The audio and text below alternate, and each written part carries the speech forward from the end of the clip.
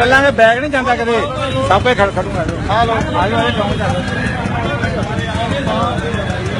ਚੌਂਕ ਕਿਹੜੇ ਭਾ ਦੱਸੋ ਇਧਰ ਚੰਗੀ ਤਰ੍ਹਾਂ ਬਣਾ ਯਾਰ ਚੰਗੀ ਤਰ੍ਹਾਂ ਅਗਲੇ ਦੀ ਵੇਲਾ ਛੱਕੀ ਹੋਣੀ ਗੱਲ ਕਰ ਤੇਰੇ ਉਹ ਸਾਰੇ ਬਾਕੀ ਮੰਗੇ ਰਾਤੀ ਮਾਰੀ ਭਾਜੀ ਬਾਕੀ ਕਿੱਥੇ ਆ ਬਾਕੀ ਆ ਤਿੰਨ ਬੰਦੇ ਥੋੜੀ ਗਏ ਬਾਕੀ ਬੰਦੇ ਲਿਆਓ ਰਾਤੀ ਸਾਰੇ ਮਾਰੀ ਲਿਆਓ ਸਾਰੇ ਵਰਕਰ ਲਿਆਓ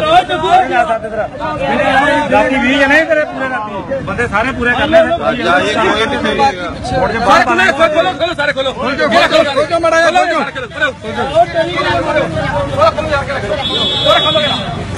ਖੋਲੋ ਕਿਹੜਾ ਖੋਲੋ? ਸਾਰੇ ਖੋਲੋ। ਖੋਲੋ ਕਿਹੜਾ ਬੰਦਾ ਗੱਲ ਪਿਆ ਤੁਹਾਡੇ? ਤੂੰ ਤਾਂ ਕੰਮ ਮਾਰ ਕੇ। ਅੱਗੇ ਇੱਥੇ ਆ। ਮਾਫੀ ਮੰਗ ਲਓ ਭਾਈ। ਲੋ ਭਾਈ। ਪਹਿਲੇ ਬਣਾ ਭਾਈ ਜੀ। ਹੈਲੋ ਭਾਜੀ ਬੋਏ!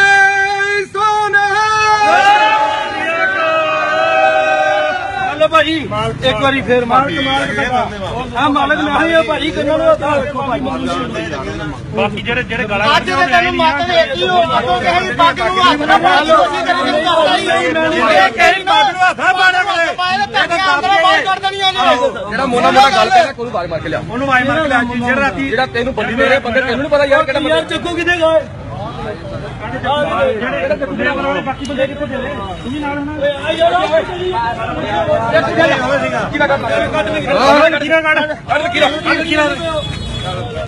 ਚਲੋ ਬਾਜੀ ਇਹ ਕਰਕੇ ਹਾਂਜੀ ਹਾਂਜੀ ਆਇਆ ਆਇਆ ਆਇਆ ਪੁੱਤ ਆਇਆ ਪੁੱਤ ਪਤਾ ਨਹੀਂ ਬੋੜ ਬਾਹ ਵਾਲੀ ਹੈ ਬਾਕੀ ਤੇਰੇ ਮੇਰੀ ਜ਼ਬਾਨ ਵਿੱਚ ਚੱਲਦੀ ਤੇਰੀ।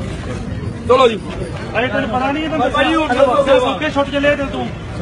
ਫਕੀਰਾਂ ਨਾਲ ਛੁੱਟ ਚੱਲੇ ਜੇ ਤੂੰ। ਕਰੀਆ ਗੱਲ ਨਾ ਨਹੀਂ। ਭਾਜੀ ਮੇਰਾ ਕਦੀ ਕਹਿ ਨਹੀਂ ਲਾਈ ਦਰ ਮੈਂ ਗੱਲ ਭਾਜੀ ਨਹੀਂ। ਇਹਨਾਂ ਦੀ ਨਹੀਂ ਗਾਂ ਕਿਸੇ ਦੀ ਨਾ ਹੱਥ ਪਾ ਲਿਓ। ਪੱਗ ਦੇ ਸਿਰ ਤੇ ਅਸੀਂ ਜੀਂਦੇ ਆਵੇ ਓ